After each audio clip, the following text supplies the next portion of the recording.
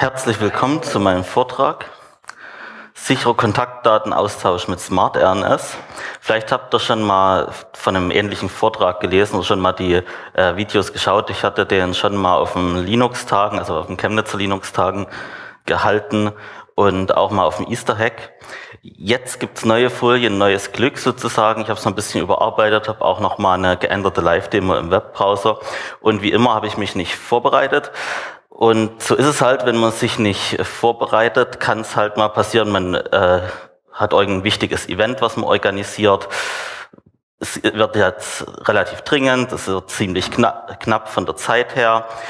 Dann muss man doch schnell jemanden anrufen, eine E-Mail schicken und gleich geht der Vortrag los. Man muss noch kurz telefonieren, weil da mit der Technik was nicht stimmt.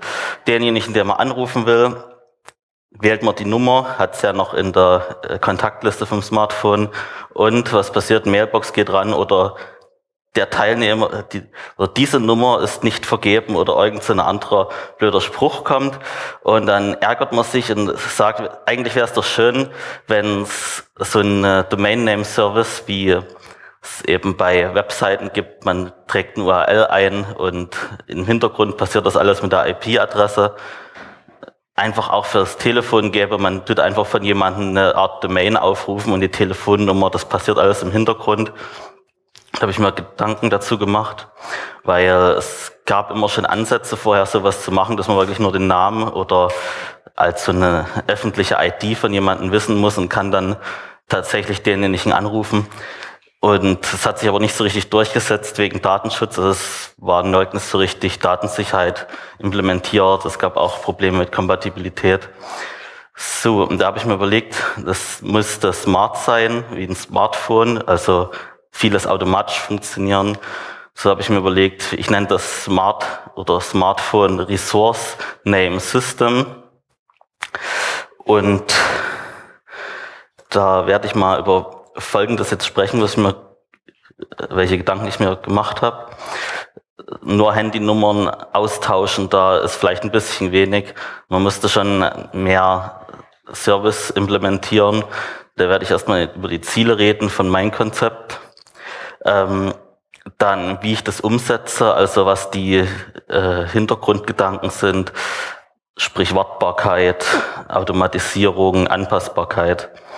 Dann mal so ein Beispiel, wie man, zum, wie man Kontaktdaten weitergibt.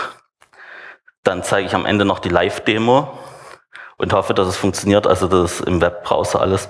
Ein paar Links gibt's auch noch. So, also mein Gedanke war, wir haben ja relativ viele Kontaktdaten. Also wir haben eine Handynummer, Festnetznummer, E-Mail-Adresse, vielleicht sogar mehrere davon. Die Postanschrift haben wir auch. PayPal oder das gibt ja auch dieses Visitenkartenformat, das elektronische. Ja, und das Ganze müsste man mal irgendwie zusammenpacken in einen Topf und dann müsste man irgendwo hinschreiben, wo der Topf steht. Und dieser Topf hat dann halt einen Namen oder eine Adresse und wenn man da was ändert drin, dann äh, braucht man das niemandem mitteilen, sondern derjenige kennt ja die die Adresse oder diese Identität und hat dann automatisch Zugriff auf die neuen Daten. So, dann habe ich mir überlegt, welche Anforderungen müsste denn so ein System erfüllen, damit man das auch halbwegs sinnvoll einsetzen kann, ich, denn ich habe immer gemerkt, es gibt so paar ähnliche Systeme zum Kontaktdaten weitergeben. Nur leider gibt es da immer wieder Schwierigkeiten. Also das, das fehlt immer gerade das Feature, was man braucht. Und oder es ist umständlich. Also man verwendet es am Ende nicht. Wenn ich die Kontaktdaten dann manuell mit irgendwas irgendwie jemanden schicken muss im Chat oder irgend sowas, dann, dann vergisst man das dann auch wieder freizugeben und dann wäre halt eine Automatisierung nicht schlecht. Also ich wechsle die SIM-Karte oder sowas und der andere merkt das gar nicht, der ruft dann automatisch die neue Nummer an. Also der merkt es nicht in dem Sinne, es steht zwar die neue Nummer da, aber der wird nicht mit irgendwelchen sinnlosen Meldungen belästigt. Ja, die Konsistenz ist wichtig, dass ich nicht dann sage, der eine hat vielleicht den einen Dienst, der andere das andere und, und der eine speichert in der Kontaktliste und dann funktioniert das am Ende trotzdem nicht, wenn man es irgendwo vergisst. Es sollte halt möglichst korrekt sein, also keine Abtippfehler passieren. Deshalb auch die Automatisierung, wo ich nichts abtippen muss, kann auch nichts passieren. Datensparsamkeit, das sollte eben jeder nur Zugriff auf das haben, was ihn auch was angeht. Man sollte das einfach verwalten können. Es sollte eine Nutzung ohne Account möglich sein, denn gerade es geht ja um Datenschutz, um Datensicherheit bei sowas. Und es ist es nervt halt, wenn man muss sich bei jedem Dienst registrieren. Und wenn jemand nur mal gucken will, also nur mal bei jemanden die Adresse abrufen möchte oder die Telefonnummer abrufen möchte und der muss erst Nutzername, Passwort, E-Mail-Adresse, sonst was eintragen, um dann irgendwas zu bestätigen, das nützt keiner. Also das nützt mir dann auch nichts, wenn ich in so ein System meine Kontaktdaten eintrage, weil dann äh, sagt jeder, ach, kannst du mir nicht nochmal per SMS schicken, ich habe keine Lust, mich da anzumelden. Wichtig ist mir auch die vollständige Hoheit über die Kontaktdaten. Also nicht nur, dass ich das jetzt bei irgendeinem Dienst eintrage, der nächste Woche nicht mehr funktioniert, sondern ich möchte vielleicht die Software auf meinem eigenen Server hosten. Das sollte halt Open Source sein, damit ich überhaupt weiß, was da drin ist, damit ich das später vielleicht auch anpassen kann oder anpassen lassen kann, je nachdem, wo ich das einsetze, ob ich jetzt ein Experte bin in der Softwareentwicklung oder nicht. Es sollte eine Form von offenen Standard geben, sodass auch andere da Module schreiben können. Es sollte halt dezentral sein, also wie ich schon sagte mit Self-Hosting, dass man eben die Plattform aufsetzen kann, dass jemand anders auch so eine Plattform hat und dass die dann trotzdem interagieren miteinander dass keine Insellösungen werden. Es sollte eine hohe Verfügbarkeit vorhanden sein. Das Ganze sollte zuverlässig funktionieren. Das sollte flexibel anpassbar sein. Also wenn irgendwas was Neues kommt, ein neues E-Mail-Programm oder ein neuer Kommunikationsdienst, sollte natürlich auch die Adresse eingetragen werden können. Es soll, also es sollte erweitert werden können um bestimmte weitere Komponenten oder auch um Dienste an sich. Es sollte die Privatsphäre garantieren, also mit einer echten Ende-zu-Ende-Verschlüsselung. Das heißt, äh, heute haben wir oft das Problem, dass wir nur eine normale Transportverschlüsselung haben. Das heißt, ich trage irgendwo was ein, vielleicht bei Facebook oder an anderen sozialen Netzwerken. Dann äh, wird das verschlüsselt zum Server gesendet, der Server entschlüsselt das, trägt es in der Datenbank ein. Ist schön, um was zu suchen oder um das auszuwerten, aber am Ende kann es trotzdem mal passieren, dass ein Mitarbeiter oder was den ganzen Datensatz irgendwo hin verkauft. Und das soll ja technisch ausgeschlossen werden. Deshalb müsste das erst so verschlüsselt werden, dass der Server keinen Schlüssel hat zum drauf zugreifen. Eine zusätzliche Transportverschlüsselung ist noch wünschenswert, um eine Anonymität hinsichtlich Zugriff äh, zu erreichen. Denn wenn ich immer wieder die gleichen verschlüsselten Datensätze abrufe, soll das trotzdem so aussehen, als wäre das was Unterschiedliches denn da kann man auch keine Statistiken mehr führen als äh, System, als ein Betreiber des äh, Netzwerks. So, dann habe ich mir erstmal eine Recherche gemacht, was gibt's denn eigentlich alles, was sind denn die Mitbewerber? Da ist noch zu nennen Telnik, das ist ein relativ alter ähm, Kontaktdatenanbieter. Das ist, da gibt's diese .tel-Domains, die machen dem einfach den normalen Domain Name Service und tragen da Telefonnummern und ähnliches ein. Dann, äh, das ist irgendwie, es kostet 15 Euro im Jahr oder so, so eine Domain. Das ist, es gibt Apps dazu, womit man drauf zugreifen kann, aber es ist irgendwie alles nicht Open Source. Und auch die Weitergabe der Kontaktdaten ist ein bisschen umständlich, vor allem die äh, verschlüsselte Weitergabe. Also man kann drin suchen, aber wenn ich jemandem was schicke, dann muss ich die Kontaktdaten wirklich dem verschlüsselt zuschicken. Ich kann nicht sagen, hier hast du irgendwie einen Zugriffstoken oder ich schalte dich frei. Dann habe ich MyID-Keeper gefunden, die haben das mit Verschlüsselung nicht so.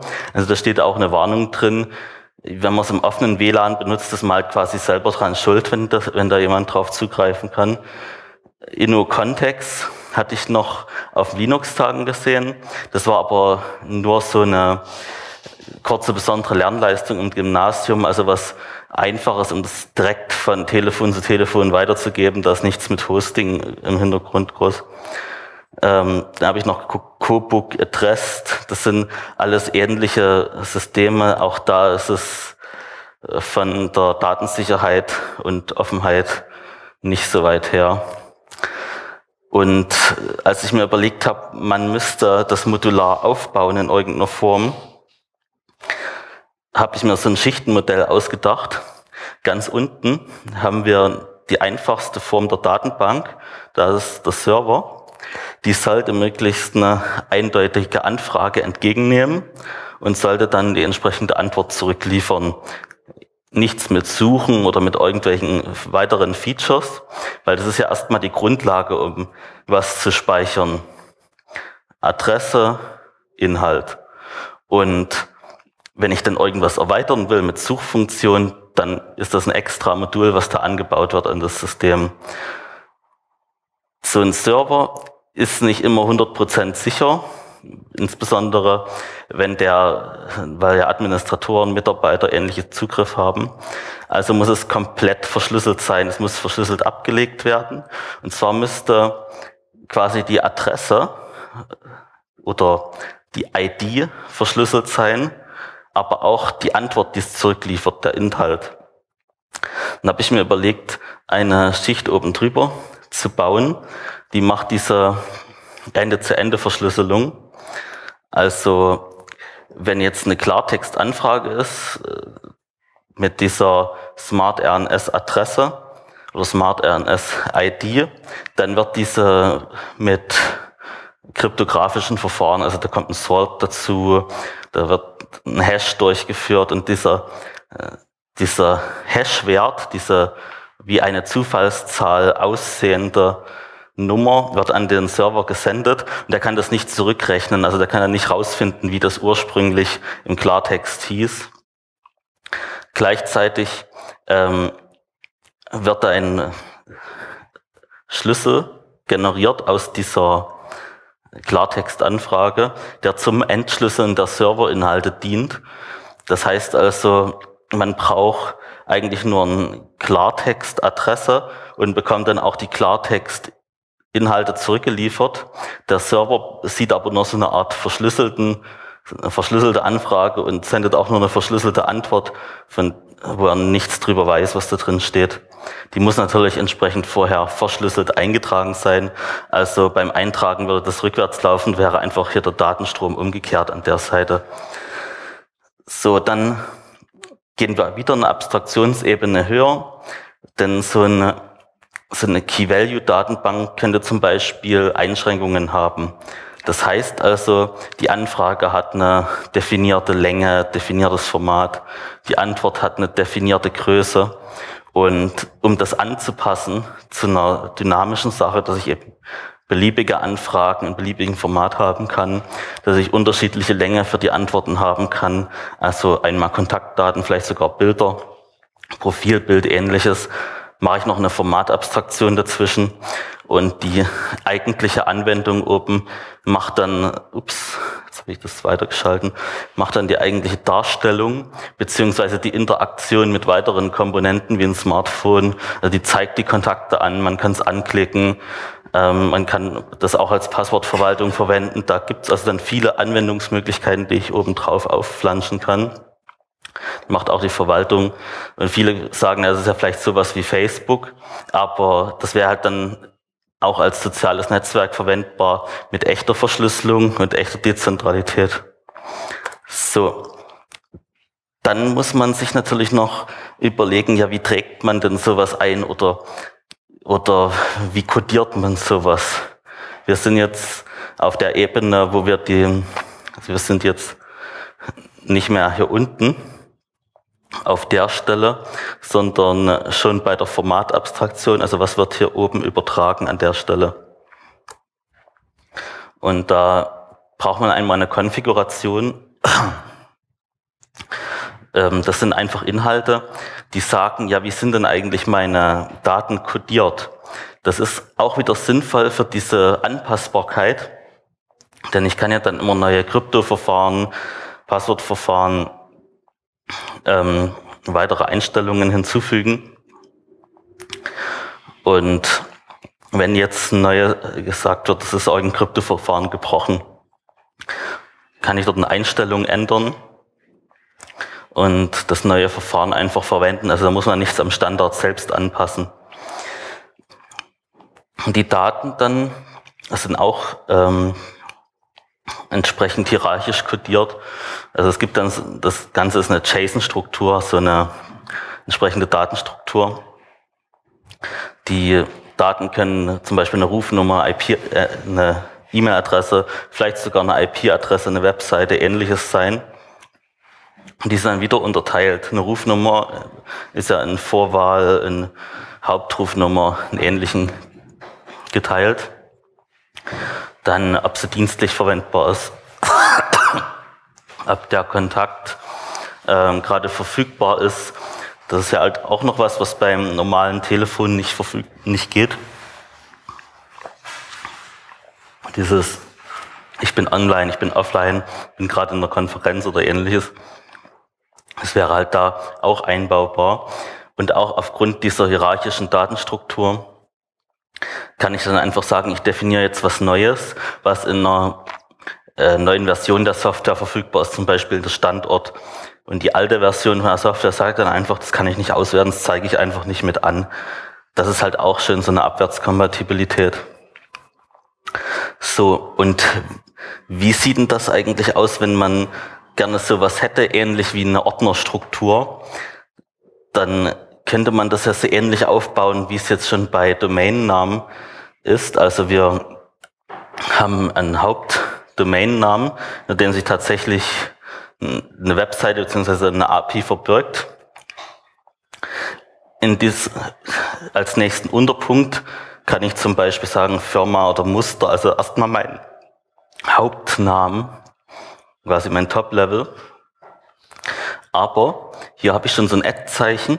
Das heißt, was hier links steht, ist schon äh, entsprechend verschlüsselt, also das ist schon mit diesem Hash-Wert umgewandelt. Das hier geht noch unverschlüsselt übers Netz, denn irgendwo muss man ja diesen dezentralen Server finden, man muss ja diesen Webserver ansprechen können. Der Teil ist dann schon gehasht und dann wird erst diese Abfrage ausgeführt, zum Beispiel Firma an der Stelle.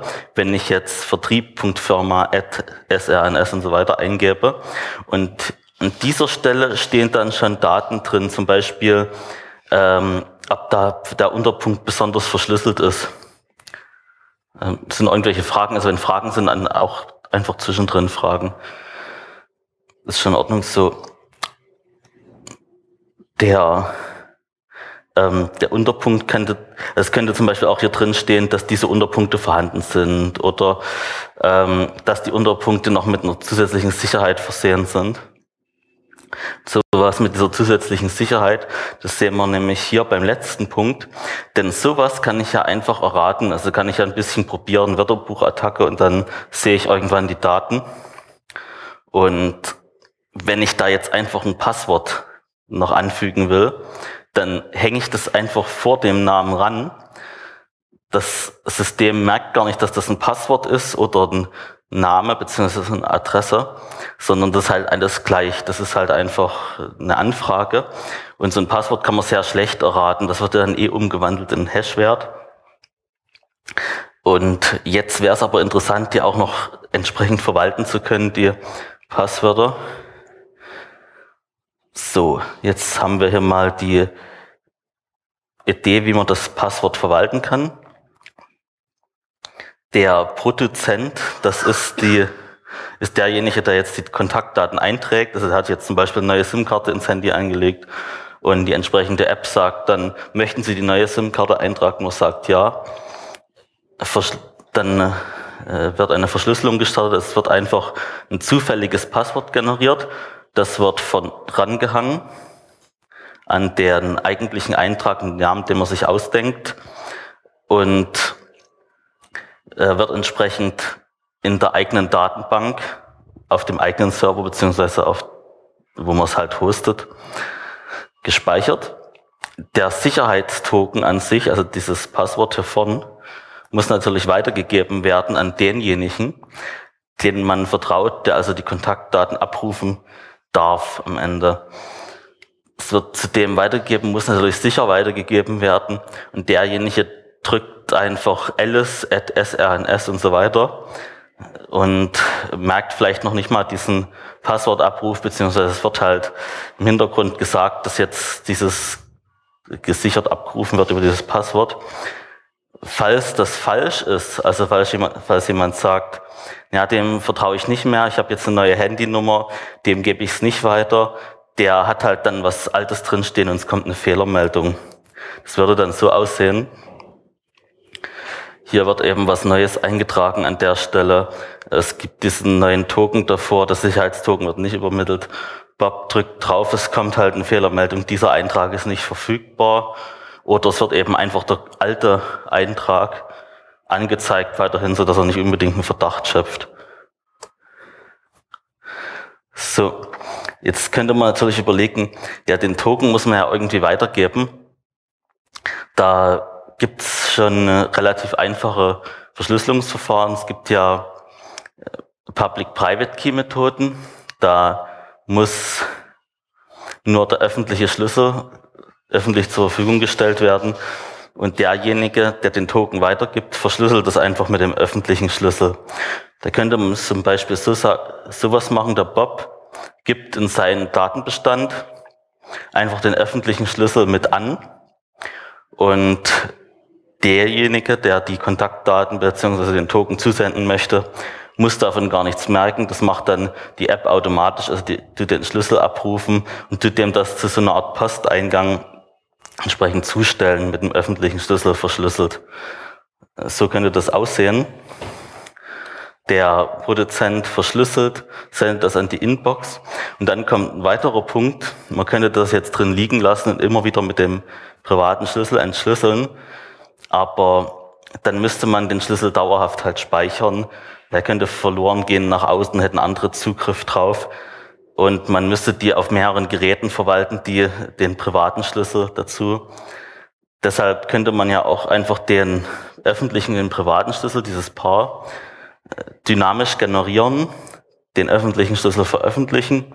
Wenn dieser Token übertragen wurde, wird er entschlüsselt auf dem Endgerät des Nutzers und bei sich selbst dann entsprechend in der Datenbank sicher hinterlegt. Dann kann dieser äh, dieser private Schlüssel und auch der öffentliche Schlüssel gelöscht werden und dann kann er neu generiert werden. Das ist dann also unabhängig vom Gerät. Am Ende zum Abruf des Schlüssels wird natürlich entsprechend mit dem Master-Token ähm, das Ganze gehandhabt. Also derjenige, der auf seine Kontaktliste, also nicht auf die anderen Kontaktdaten anderer zugreift, sondern derjenige, der die Kontaktliste mit Smart RNS Adressen anderer Nutzer verwaltet, hat dann so ein Master Token, womit der sich einloggt und hat dort alle seine eigenen privaten Daten drinstehen, wo er halt Zugriff hat oder wo eben auch die Passwörter, also diese Tokens drinstehen. So, jetzt können wir mal noch eine kleine Live-Demo zeigen. Ich klicke mal drauf und hoffe, dass es geht. Und es hat sich im Hintergrund geöffnet. Nein, es kommt sogar in den Vordergrund. Jetzt sieht man, dass kein WLAN verbunden ist. Und ich hoffe, das ist noch da. Okay, hier ist es.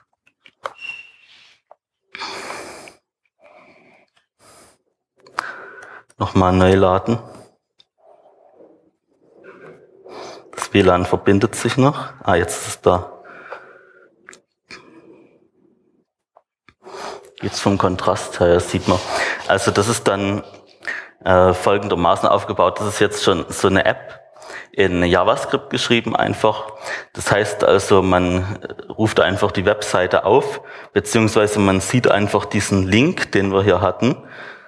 Der ist nämlich folgendermaßen aufgebaut. Wir haben ja einfach die normale URL, HTML-Seite mit JavaScript eingebunden. Und das Besondere ist bei anderen Web, ähm, dynamischen Webseiten hätte man hier so ein Fragezeichen stehen und äh, irgendwas danach ist gleich, dann wird zum Server eine Anfrage übertragen und der antwortet mit was.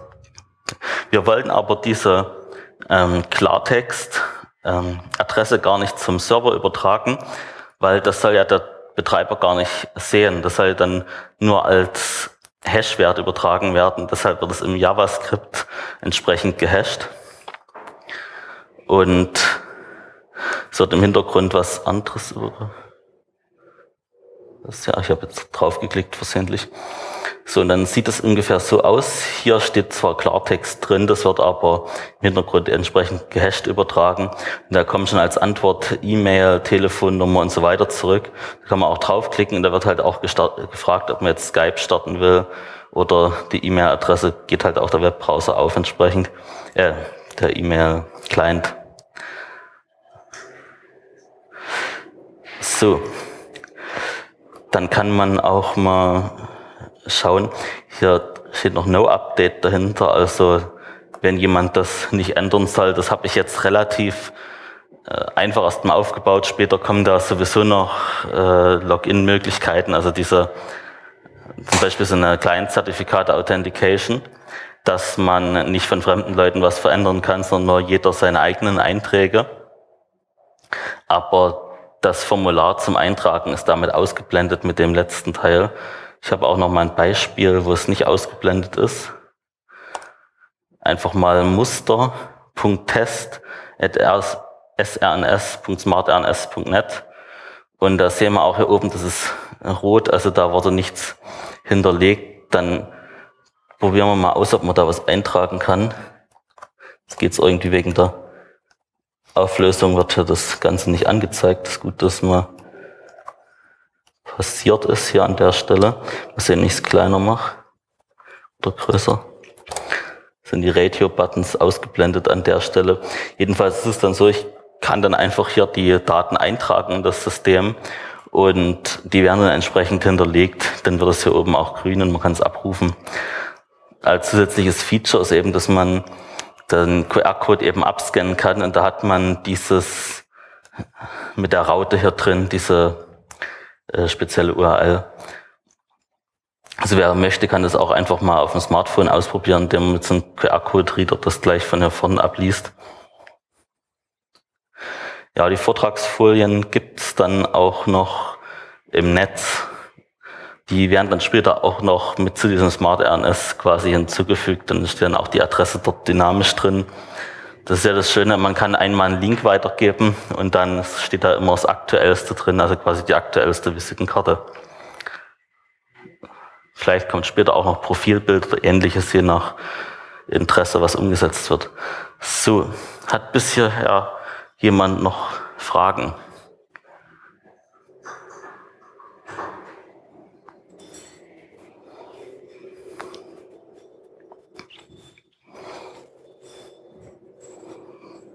Sieht schon fast aus, als wird abgebaut hier hinten gerade. Tja. Ja. Okay. Jetzt, jetzt wird gleich ein. Okay, ich wiederhole es.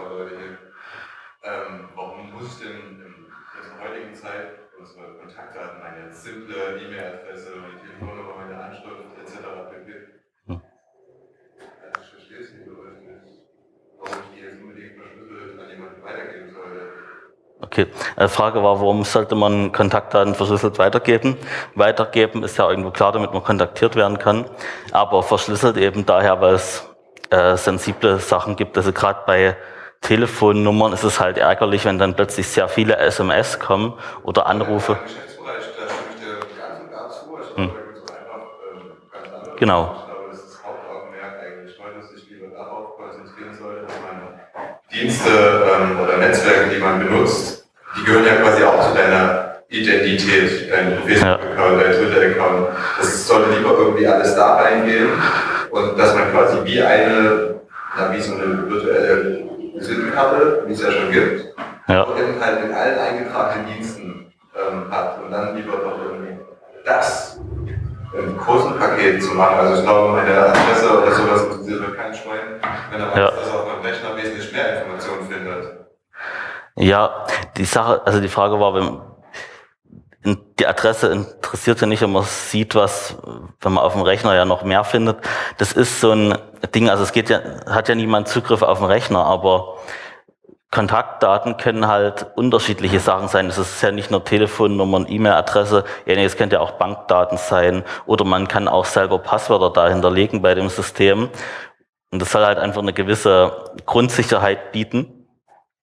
Wenn, wenn man jetzt E-Mail hat zum Beispiel und das wird vollgebombt mit hunderttausenden Mails, dass man das verhindern kann. Oder ähm, es gibt auch dieses zum Beispiel solche Infofax-Abfragen, womit Leute absichtlich gemobbt werden, indem man auf dem ihre Nummer einfach ein Fax bestellt und dann wird das ständig versucht zu übertragen, beziehungsweise äh, irgendwelche anderen störenden Anrufe. Da möchte man halt am besten das nur den Leuten weitergeben, die es wirklich äh, brauchen und nicht jemanden anders. Dann habe ich mir noch eine andere Anwendung ausgedacht, und zwar bei Supportnummern äh, könnte man auch einfacher mal eine interne Nummer oder was weitergeben, vielleicht irgendeine Handynummer direkt von jemandem die sich vielleicht einmal im Monat ändert.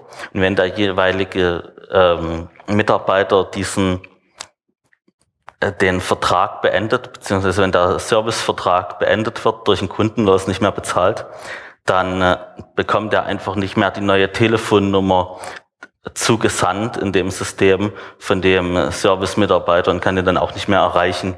Das wäre auch noch ein Anwendungsfall für sowas. Aber ansonsten öffentliche Kontaktdaten, die kann man selbstverständlich auch unverschlüsselt ablegen. Es geht halt nur um diese nicht öffentlichen, also um diese private Nummer oder was man halt nur unter Freunden weitergibt, wenn man jetzt immer zwei Handys hat, das sogenannte Diensthandy oder öffentliche und das andere ist private. Um diesen privaten Teil geht's halt.